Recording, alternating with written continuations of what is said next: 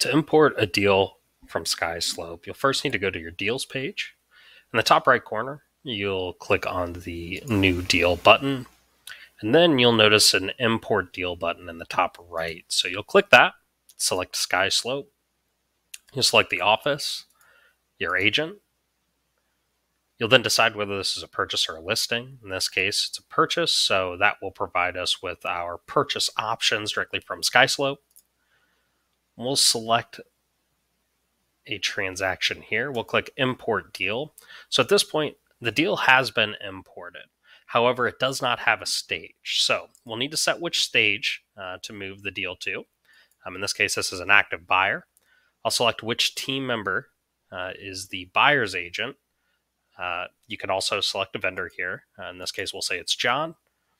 If there are additional details that you need to fill out uh, that are um, not coming in via SkySlope uh, that you know of. For example, any custom fields, um, feel free to go ahead and enter those in. If you see something such as like address that you know will be coming in from SkySlope, feel free to disregard that um, as it will be brought over.